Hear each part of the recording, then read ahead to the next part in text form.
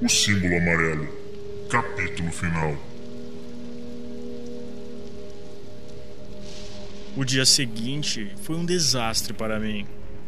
Enquanto movia uma tela emoldurada de um cavalete a outro, meu pé escorregou no chão polido e caí pesadamente sobre os dois punhos.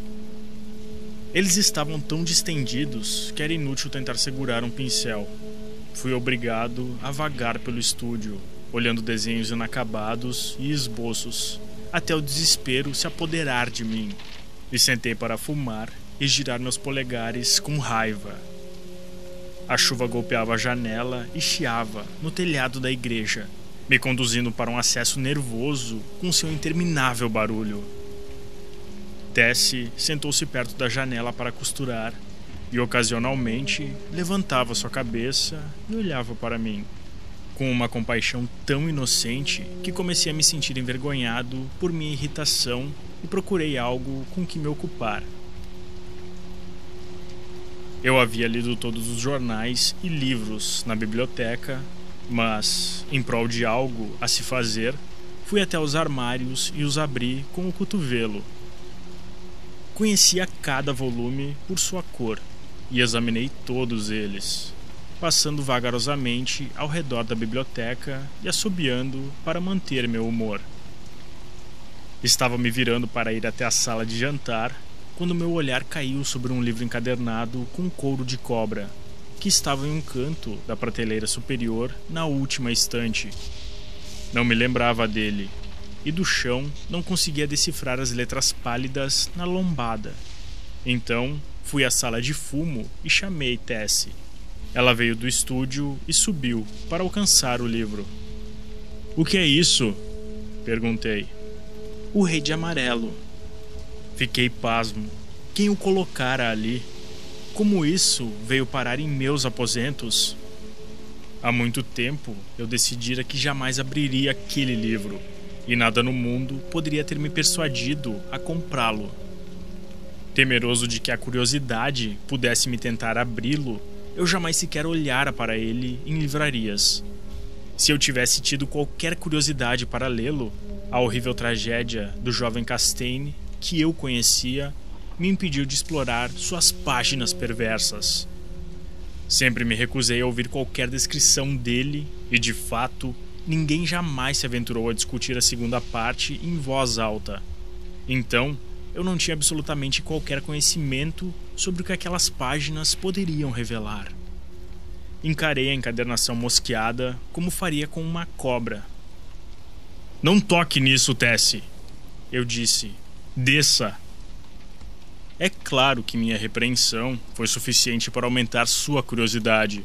E antes que eu pudesse evitar, ela pegou o livro e, rindo, dançou para fora do estúdio com ele.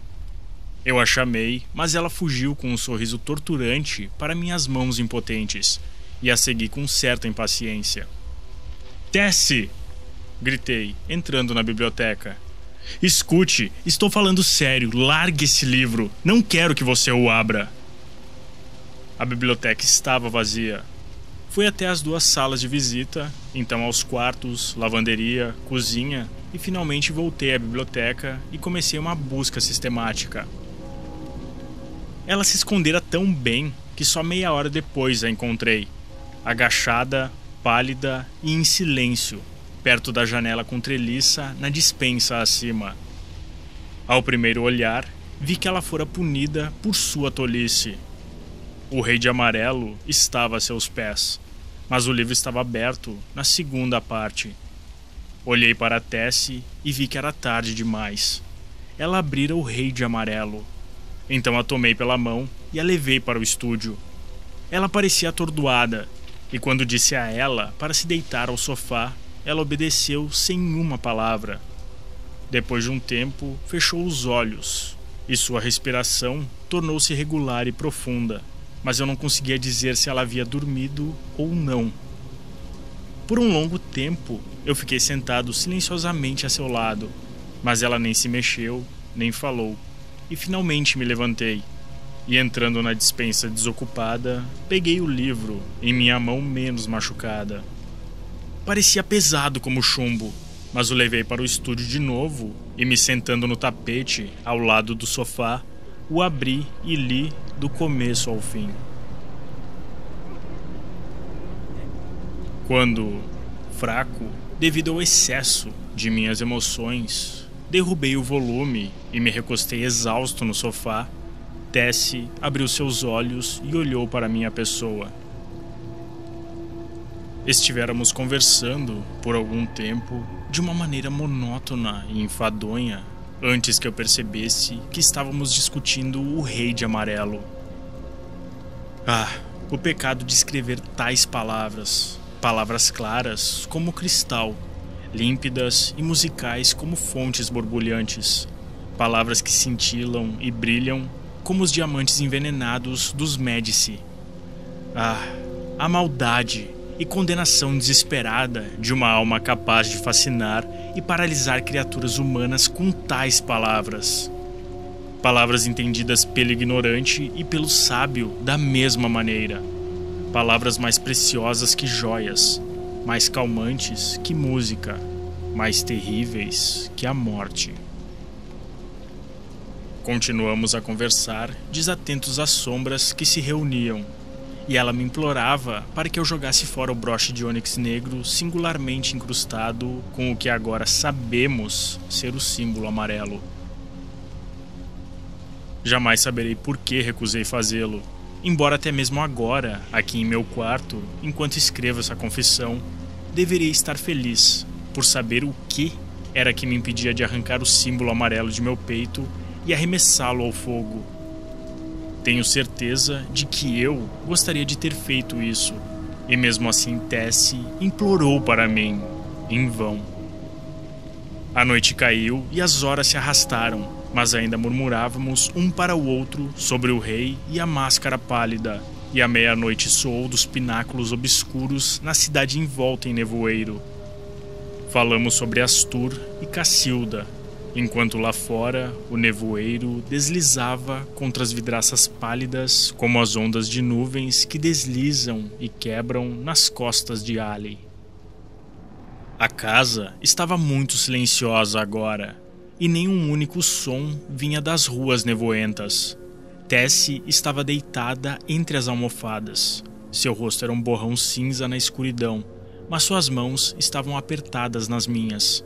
E eu sabia que ela sabia e lera meus pensamentos como eu li os dela, pois entendêramos o mistério das Íades e o fantasma da verdade estava exposto. Então, enquanto respondíamos um ao outro rapidamente, silenciosamente, de pensamento em pensamento, as sombras se moveram na obscuridade à nossa volta. E longe, nas ruas distantes, ouvimos um som. Mais e mais ele se aproximava. O som baço e triturante de rodas. Mais e mais perto ainda. E agora, lá fora, diante da porta, ele cessou. E arrastei-me até a janela e vi uma carruagem fúnebre com plumas negras. O portão abaixou, se abriu e fechou. E arrastei-me tremendo até a porta e a tranquei mas eu sabia que ferrolhos, nenhuma fechadura, poderiam manter lá fora aquela criatura que vinha pelo símbolo amarelo. E agora o ouvi se movendo muito suavemente no corredor. Agora ele estava à porta, e os ferrolhos apodreceram ao seu toque. Agora ele havia entrado. Com meus próprios olhos, perscrutei a escuridão, mas quando ele entrou no quarto, não o vi foi só quando senti me envolvendo com seu aperto macio e gelado que gritei e lutei com fúria mortal. Mas minhas mãos eram inúteis e ele arrancou o broche de ônix de meu casaco e me golpeou em cheio no rosto.